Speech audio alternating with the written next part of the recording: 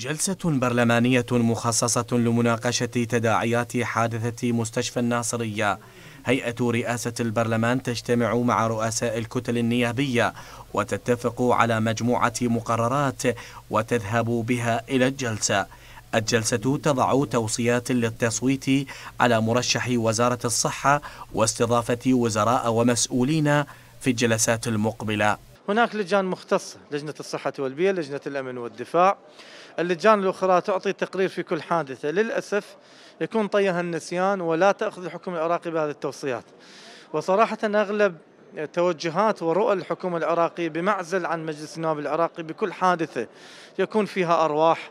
العراقيين حادثة أمنية حادثة سياسية حادثة اقتصادية زيارات وغيرها. نجد أن الحكومة العراقية لا تجد السلوك الناضج بين المؤسستين المؤسسة التشريعية والمؤسسة التنفيذية.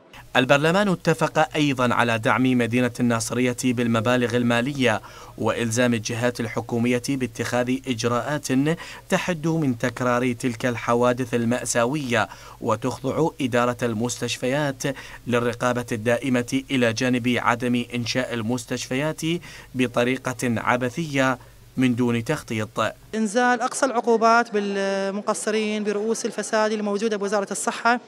اليوم إحنا نذب اللوم على وزارة الصحة لأنه هي الرأس الهرم أو هي المشرفة على جميع المؤسسات الصحية والمستشفيات.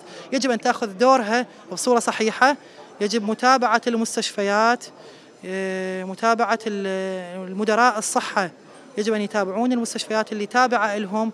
ووفقا لنواب فإن توصيات البرلمان قد تذهب إلى أبعد من إقالة المسؤولين ومحاسبتهم وتشمل تغيير هيكلية إدارة المؤسسات الصحية ودوائر الصحة في بغداد والمحافظات.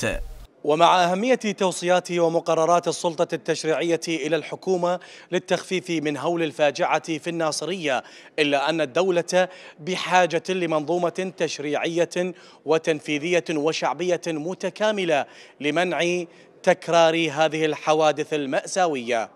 سجاد الموسوي العراقية الإخبارية بغداد.